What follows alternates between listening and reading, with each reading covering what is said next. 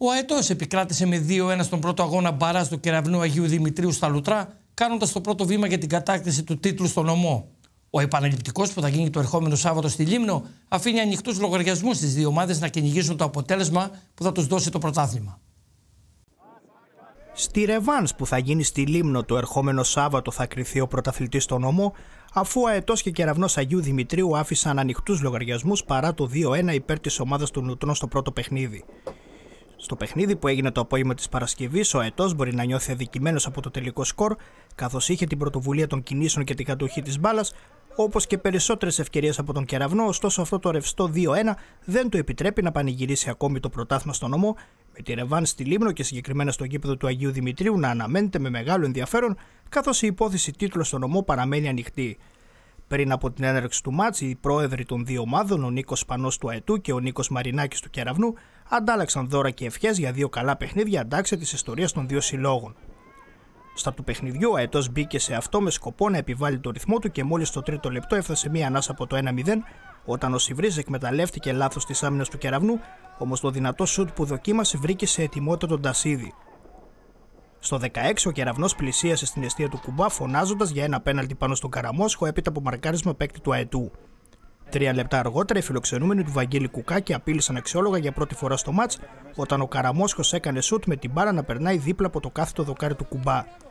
Παρά την ευκαιρία του κεραυνού, ο Αετός ήταν η ομάδα που πατούσε καλύτερα στον αγωνιστικό χώρο του γηπέδου των Λουτρών και στο 24 έφτασε πολύ κοντά στον γκολ με το σουτ του Μιχαλάκη να σταματά στον Τασίδη. Με τη συμπλήρωση μισής ώρας αγώνα, η ομάδα των Λουτρών που πίεζε τον κεραυνό αρκετά ψηλά στο γήπεδο κέρδισε πέναλτι με τον Ποντίκα να υποπίπτει σε λάθος και στη συνέχεια να ανατρέπει το Μιχαλάκη μέσα στην περιοχή με το διδυτή Λέκα να υποδεικνύει το σημείο του πέναλτι. Ο Άκης Μιχαλάκης σημάδεψε σωστά από τα 11 βήματα, δίνοντας προβάδισμα στο σκορ στην ομάδα του σε ένα καλό σημείο του αγώνα. Ο Αετός που είχε το momentum κατάφερε 5 λεπτά αργότερα να κάνει δύο τα τερματά του στον πρώτο αγώνα για το πρωτάθλημα στον ομό.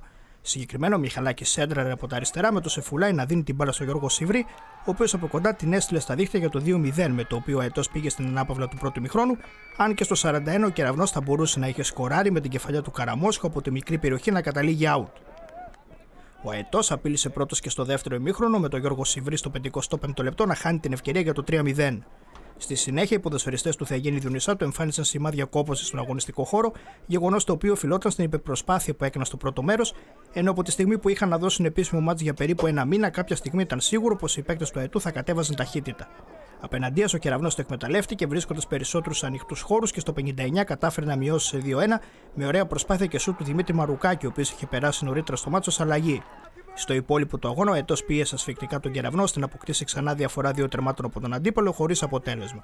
Καλύτερες στιγμές από πλευράς γηπεδούχων στο 61 το ωραίο ανάποδο ψαλίδι από τον Βλαστέλη το οποίο κατέληξε στα χέρια του Τασίδη, ενώ στο 67 μετά από σέντρα του το πάλι η μπάλα χτύπησε στο ριζό του δοκάρι του κεραυνού. Βέβαια, ένα λεπτό νωρίτερα ο Αετό διαμαρτύρεται έντονα για μια περίπτωση πέναλτη σε ένα μαρκάρισμα που έγινε πάνω στον Σιβρή από παίκτη του κεραυνού, με τους ανθρώπους της ομάδας να θεωρούν πως υπήρξε παράβαση η οποία δεν δόθηκε από το διτητή Παναγιώτη Λέκα. Όπως και να έχει, το 2-1 υπέρ του Αετού παρέμεινε μέχρι το τέλος του παιχνιδιού και κάπως έτσι τα πάντα για τον πρωταθλητή στον ομό παραμένουν ανοιχτά με την ομάδα των Λουτρών να έχει ένα πολύ μικρό προβάδισμα εν ώψη της Ρεβάνς που θα διεξαχθεί στον Άγιο Δημήτριο της Λίμνου. Κόουτσα Αετός και Κεραυνός άφησαν ανοιχτούς λογαριασμούς μετά το 2-1 του σημερινού αγώνα. Ευχαριστημένοι έτσι όπως εξελίχθηκε το μάτι στο δεύτερο ημίχρονο.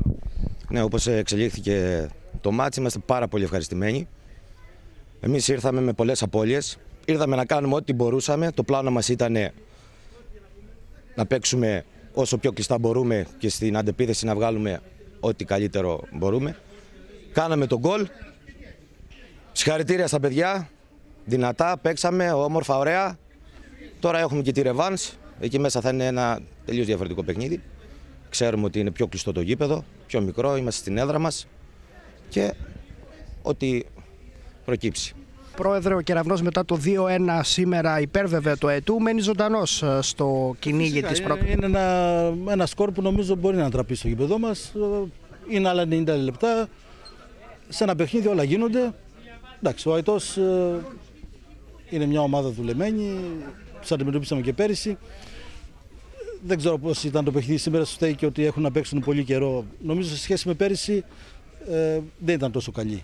Πέρυσι ήταν καλύτερη ομάδα στα δύο παιχνίδια που παίξαμε μεταξύ μας. Τώρα μέσα στο χωριό μας Έχουμε επιστρέψει φέτος στο γήπεδό μας. Ελπίζουμε να σηκώσουμε το κύπελο νομού με στο γήπεδό μας τώρα. Να πάρουμε πρωτάθλημα στην επιστροφή μετά από 15 χρόνια στο γήπεδο μας. Δημήτρη, πιστεύεις ότι σήμερα η ομάδα σου αδίκησε τον εαυτό της, θα μπορούσε να έχει πετύχει παραπάνω γκολ και να πάρει ένα σκορ ασφαλείας εν όψει της ρεβάνς. Η αλήθεια είναι με, την... με βάση το παιχνίδι, εντάξει, είχαμε πολλές χαμένες ευκαιρίες, πολλές ατυχείς στιγμές, πολλές κόντρες που δεν καταλήξαν. Ήμασταν γενικά τόσο άτυχοι που η μπάλα δεν ήθελε να, να μπει σήμερα. Εγώ αυτό παρατήρησα. Εντάξει, δεν σταματάμε, συνεχίζουμε. Το ματς είναι 6 Μαΐου στη Λήμνο. Θα πάμε εκεί να τα δώσουμε όλα, να κερδίσουμε και να συνεχίσουμε στους αγώνες μπαράζ. Δεν σταματάμε καθόλου. Κότσα αδικεί το έτος από το 2-1. Πιστεύω ότι το είδατε κι εσείς ότι ε, χάσαμε πάρα πολλές ευκαιρίες. Αυτό νομίζω είναι ότι μας τύχησε σήμερα. Σίγουρα κάναμε ένα βήμα, κερδίσαμε το παιχνίδι, αλλά δεν καταφέραμε να πάρουμε ένα σκορ ασφαλείας. Παρ' όλα αυτά, η νίκη είναι νίκη. Ε, νομίζω ότι η τελική ενέργεια ήταν που δεν είχαμε σήμερα. Δημιουργήσαμε πάρα πολλές ευκαιρίες και νομίζω ότι μετά από πάρα πολύ καιρό που είχαμε να παίξουμε μετά από τις 2 του μηνός, ήταν λογικό να μην έχουμε τόσο ρυθμό στο παιχνίδι μας, να μην έχουμε ένταση. Ήταν λογικά αυτά τα ήξερα και τα περίμενα. Από εκεί και πέρα όμως έμενα ευχαριστημένος με τις ευκαιρίες που δημιουργήσαμε. Αν είχαμε κάνει και τα γκολ, νομίζω ότι θα ήταν πολύ πιο απλά τα πράγματα.